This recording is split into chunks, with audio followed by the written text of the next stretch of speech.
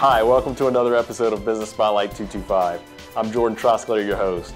And today, I interview Jeffrey Horner with VRS Media Group. He's the director of Business Spotlight 225. And today we're going to find out how Jeffrey Horner with VRS Media tells your story.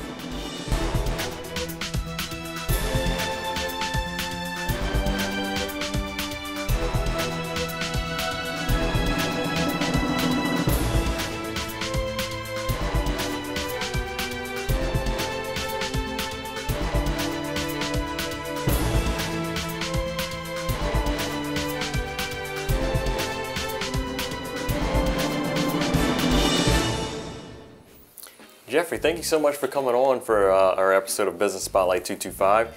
You're actually the producer of Business Spotlight 225. Tell us a little bit about yourself and how you got into the business.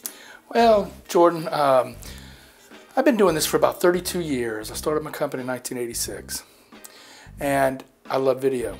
And video was really starting to get strong in the commercial side and on the event side. So I looked at doing weddings, and events like dance revues and things like that. And I was very good at it. I've been blessed to be able to have some great clients and learn this business. And I've been trained by some of the best videographers in the world. But what we do now is because of the digital age, with websites, social media, we promote your business visually. We know how to tell your story. Nobody knows your business better than you. But we can take that and make the visual that tells your story. And that's our niche. We love doing that because we want to promote your business. And that's what we're really good at. Wow, that's incredible. How'd you come up with the name VRS Media? We had our mother company, which is Video Reflections Inc. And we were big in the events and we were doing weddings.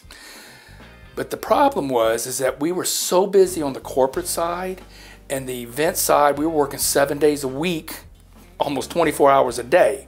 So in 2015, we decided to just cut weddings, not to do weddings anymore, and go more into the media as far as promotion for industrial, commercial, businesses. So we went VRS Media Group because we cover so much of that industry. That's incredible.